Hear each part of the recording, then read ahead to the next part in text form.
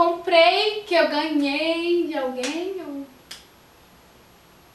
de alguma editora, de alguma coisa, tá? Então, vou começar logo pra não ficar, né, uma vida aqui falando, tá?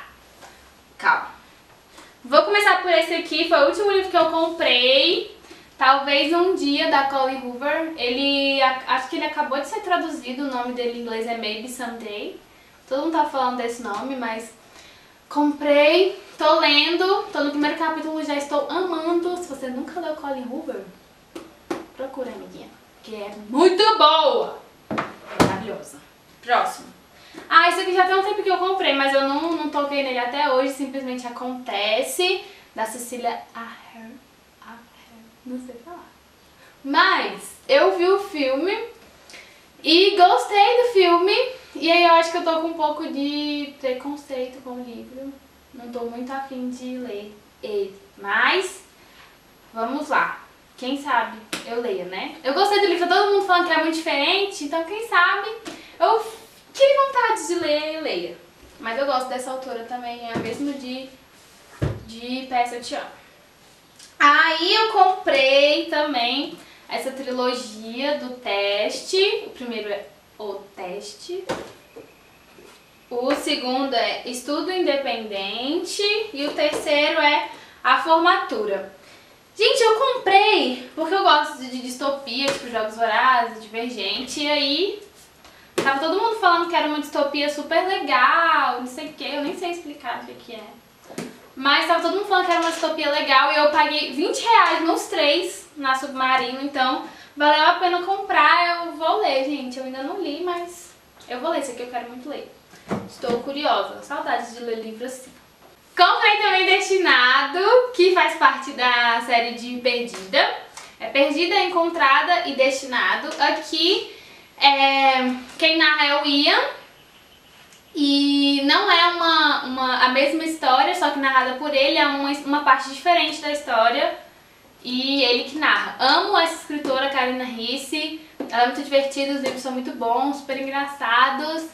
E eu tô super curiosa pra ler. Eu acho que eu não tô muito na vibe agora, comecei, mas... Não é porque o livro não é legal, é muito legal, mas eu tô ainda voltando pro meu ritmo já que eu só li a faculdade.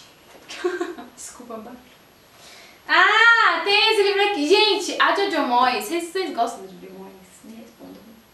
Eu adoro ela que escreveu Como Eu Era Antes de Você e a Garota Que Você Deixou Pra Trás. Foi os que eu li dela até hoje e eu amei. E aí eu fui na livraria esses dias só tinha ela. Tem 30 mil capas novas de, vídeo, de livro dela. E eu comprei esse aqui. Bahia, ba Bahia, Bahia. Não sei como que lê, como que lê? Bahia? Bahia, né? Ah, tá. Voltei, gente. Aí eu comprei esse, Bahia da Esperança, porque a capa é bonita, gente. Foi por isso que eu comprei. Ela é uma ótima escritora, eu adoro os livros dela, os romances.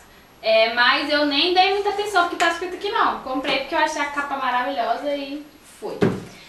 E aí, eu ganhei de aniversário esse aqui, Nada Mais a Perder, dela também, da Jojo Moyes, uma amiga. E eu também tô super curiosa. Eu adoro os romances dela, gente. São todos muito bons, muito legais. Os dois que eu já li, gostei muito.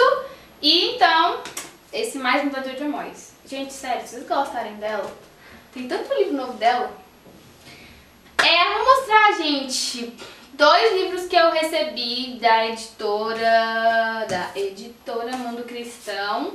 Aqui Mundo Cristão e aqui Thomas Nelson. Na verdade é uma editora que manda esses dois, esses dois partes, sei lá, essas duas, uma, uma editora que manda desses dois, Mundo Cristão e Thomas Nelson. Eles me mandam alguns livros, eu já fiz um vídeo falando sobre Jesus Cop, que eles mandaram, já fiz resenha no, cana no canal, no, no blog, sobre namoro blindado, escolhi esperar. E eles me mandaram esse aqui, ó, Missão Farquille. É, a Farquille é uma youtuber e eu acho que vocês devem conhecer, ela é bem conhecida. e ela fez esse livro chamado Missão Farquille. Estou super curiosa pra ler, gente. Eu acho que vai ser muito legal. Ela é uma das youtubers... Nossa, que edição fofa! Ela é uma das youtubers cristãs que eu mais gosto. Então eu acho que vai ser bem legal. Este...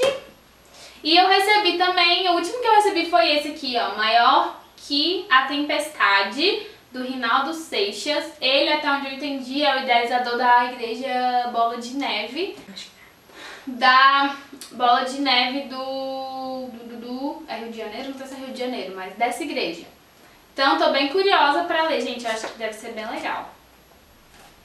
E, por último, ganhei dois presentes de aniversário de uma outra amiga minha. Eu amo a série dos Bridgerton, já falei dela aqui no canal, é essa sériezinha aqui que eu tenho só... Tem...